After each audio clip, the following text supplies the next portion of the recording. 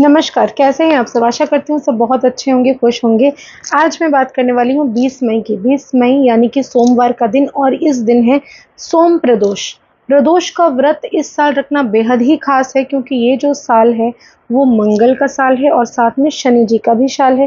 तो ये जो दो देवता हैं, इन मंगल के साल में तो काफ़ी सारी चीज़ें, आग लगने की घटनाएँ, मर्डर वगैरह और उसके बाद काफ़ी लड़ाई झगड़े भाई भाई में लड़ाई, बहुत सारी चीज़ें उथल पुथल होने के चांसेस रहते हैं। लेकिन आज मैं बात करूँगी कौन कौन से ऐसे खास उपाय हैं कि जो आप सोम प्रदोष वाले दिन करते हैं तो ज़िंदगी में आपको सफलता मिलती है।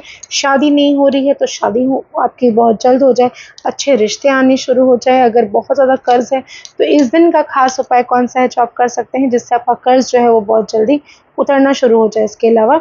अगर आपको अपना घर बनाना है तो इसके लिए भी खास उपाय मैं आज बताने वाली हूँ। प्रदोष के बहुत सारे उपाय होते हैं। वैसे तो प्रदोष जिस दिन भी पड़ता है, उस दिन के हिसाब से प्रदोष हम लोग मनाते हैं। सोम प्रदोष का अलग ही महत्व है क्योंकि सोमवार का जो दिन है, वो शिव जी का दिन है।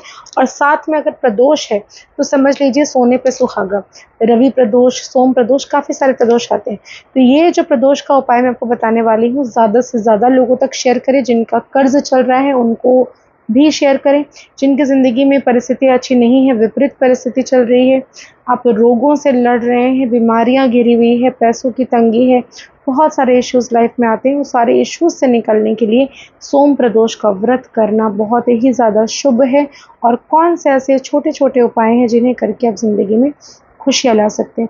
तो इसके पहले एक छोटा सा निवेदन, अगर अभी तक आपने हमारे और आपके दोनों के यूट्यूब चैनल को लाइक नहीं किया है शेयर नहीं किया है सब्सक्राइब नहीं किया तो ज़रूर करें। आज हम बात करेंगे सोम प्रदोष के बारे में।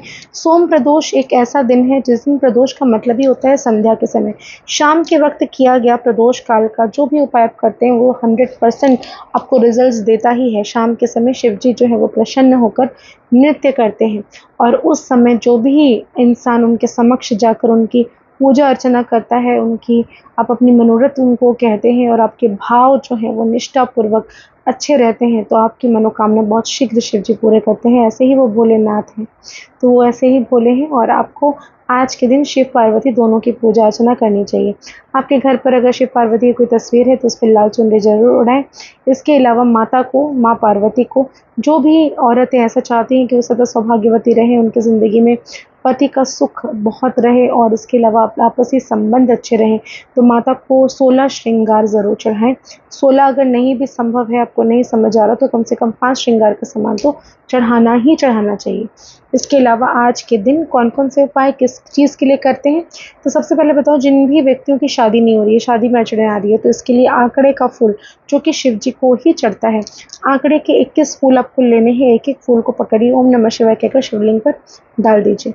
इसके अलावा पंचामृत से आज के दिन अगर आप अभिषेक करते हैं, पंचामृत में दूध ले लेना है, दही ले लेना है, मधु ले लेना है, मिश्री उसमें ऐड कर लीजिए, थोड़ी सी चीनी ऐड कर लीजिए, इसके अलावा आप गंगा जल लीजिए, गुलाब जल लीजिए, सारी चीज़ों को लेकर आप महादेव पर अर्पित करें। ऐसा करने से आपकी ज़िंदगी में समस्त जितने भी तरह की परेशानियाँ सब दूर हो जाते हैं। आज के दिन अगर आप कच्चे दूध में थोड़ा सा काला तिल डालकर ओम नमः शिवाय कहकर अगर शिवलिंग का अभिषेक करते हैं तो आपके सारे ग्रह दोष शनि से अगर जो पीड़ित हैं, जिनकी साढ़े साथी चल रही है, जैसे जिनका पहला चरण, दूसरा चरण, तीसरा चरण जो भी चल रहा है साढ़े साथी की समस्या से उनको मुक्ति मिलती है और ऐसा करने से आपके ग्रह दोष, बाधाएँ सारे शांत होते हैं।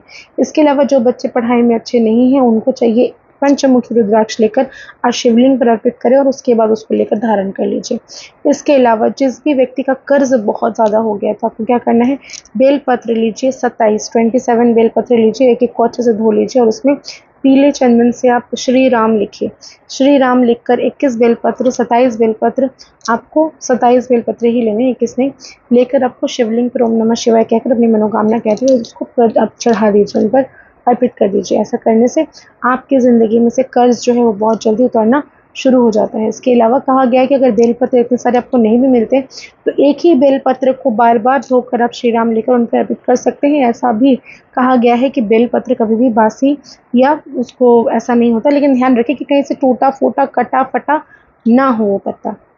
इसके अलावा आज के दिन अगर आप शिवलिंग पर गुलाब का जल, इसके अलावा अगर आप गन्ने का रस अर्पित करते हैं तो भी आपको ज़िंदगी में बहुत सुकून मिलेगा। आपके लाइफ में पैसों की प्रॉब्लम ख़त्म होगी, सुख समृद्धि आपकी ज़िंदगी में आएँगी।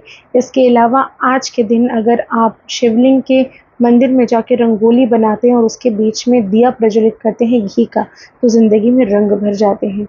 इसके अलावा और भी बहुत सारे उपाय हैं जो मैं आपसे शेयर कर रही हूँ। ध्यान से सुनिए नोट डाउन कर लीजिए और इस उपायों को करके अपने ज़रूर उठाएँ। इसके अलावा और जो उपाय हैं मैं आपको बता रही हूँ, आपको क्या करना है? आज के दिन आपको किसी भी शिवलिंग वाले मंदिर में जाके पाँच बाती का दिया जलाना है। पाँच बाती यानी कि पाँच रुई की बाती आप लगा लेंगे।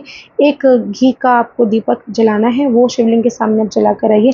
ऐसा करने से भी आपको ज़िंदगी में राहत मिलेगी लाइफ में सुकून मिलेगा और अच्छी चीज़ें ज़िंदगी में होना शुरू हो जाएगी। आज के दिन अगर आप किसी भी महिला को सुहागन का, सुहाग का सामान न देती हैं गिफ्ट करती हैं तो भी इसमें आपके सौभाग्य की वृद्धि होती है।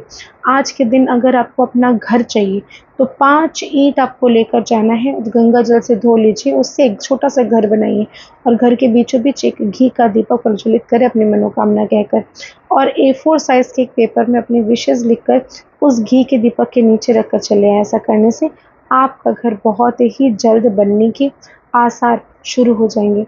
आज के दिन 108 चावल के दाने जो कि पूरा हो, कहीं से टूटा ना हो, ओम नमः शिवाय, ओम नमः शिवाय करके अपने अलग कर लिया और उसके बाद ले जाकर थोड़ा सा उसको भिगोकर शिवलिंग पर अर्पित कर दिया। अगर ऐसा करते हैं तो आपकी जो भी मनोकामना है, जो भी शिव जी उसको पूरी करते हैं। धन से समस्याएँ, धन से रिलेटेड कोई इश्यूज़ हैं फाइनेंशियल प्रॉब्लम्स के कोई इश्यूज़ हैं तो वो भी बहुत जल्दी ख़त्म होने शुरू हो जाते हैं। आशा करती हूँ मेरे वीडियोस आपको ज़्यादा से ज़्यादा पसंद आ रहे होंगे। लाइक करिए शेयर करिए और सपोर्ट करना ना भूलें। सभी से इजाज़त चाहती हूँ। बहुत बहुत धन्यवाद।